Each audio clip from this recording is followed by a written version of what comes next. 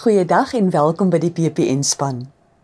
Voordat ons weer vir julle die lusmakertjie wys van die Kersfeesdrama, net so 'n paar vinnige goedjies. Eers 'n baie groot dankie aan die twee dames wat al ons diens van barmhartigheid se gesinne geborg het met 'n ietsie ekstra vir hulle Desember kospakkies. Julle groot harte word geweldig waardeer. Daar is nog twee gesinne wat ons graag wil help met ietsie lekker. 'n Gesin met 3 kinders en 'n gesin met 4 kinders. As jy of jy in jou selgroep hier wil help, laat ons asseblief weet. Dan is dit partytjie tyd vir 70 laerskoolkinders in Visante Kraal. Om vir hulle 'n heerlike dag te verseker, kort ons die volgende: hamburgerrolletjies, patties, chips, olie, tomatiesous, eie, 'n pakkie chips en 'n koeldrank vir elke kind en die kersie op die koek sal wees as ons 'n borg gaan kry om vir elke kind 'n waslappie en 'n seepie te skenk. Diens van Barmhartigheid se laaste klereverkoping van die jaar gebeur die oggend van Vrydag 30 November by die kerkkantoor. Jy kry daar winskoopies, hamburgers, hotdogs en nog lekker geselsies ook. As jy nog klere of huisware het wat jy wil skenk voor die verkoping sal dit gaaf wees. Soos julle weet, word al die wins uit die klerestoer weer net so in die kosstoer ingeploeg. En nou is dit eers Ilna se beurt. Vanaf Augustus is 'n groep van sowat 20 lidmate besig met 'n heerlike verrassing vir die gemeente. En ek weet jy sal dalk dadelik wonder, wat is dit? Waar is dit? Wanneer is dit? Die goeie nuus is, ons is besig met 'n Kersspel. Maar nie 'n gewone Kersspel nie, 'n baie spesiale een, een wat afspeel aan koning Herodes se paleis. 'n Mens kry ook 'n interessante blik op die slawe jy kry 'n interessante blik op die boere van daardie tyd en hierdie kerspel gaan gebeur in ons eie kerksaal 7 uur die aand van 1 en 2 Desember. Nou die beste van alles is dis verniet. As jy Saterdag aand wil kom, kan jy net opdaag.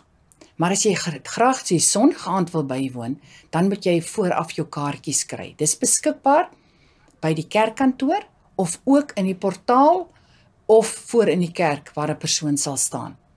Dis steeds gratis, maar dan gaan die kaartjie net seker maak dat jy jou plek kry. Moenie dit misloop nie, anders mis jy regtig iets groots. Ons sien jou daar. Maar Hanna, jy klink soos 'n ongelowige. Nee, Efraim. Ek glo net soos jy.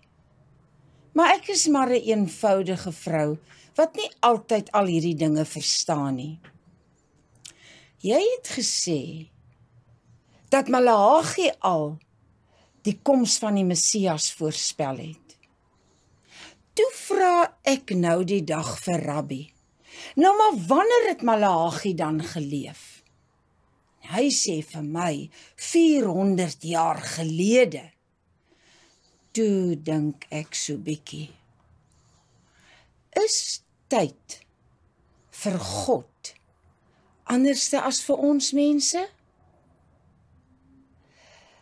Is gou vir die Almagtige dalk honderde of duisende jare? Ja, nou, jy verstaan nie.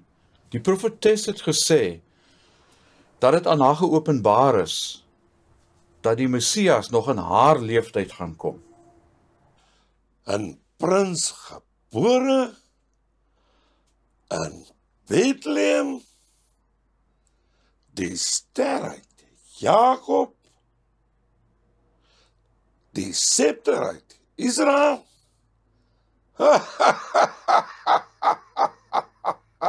Jakob en jou ster gaan nie lank blink nie Hierdie is ou mag wel siek wees maar hierdie is ou is nog lank nie dood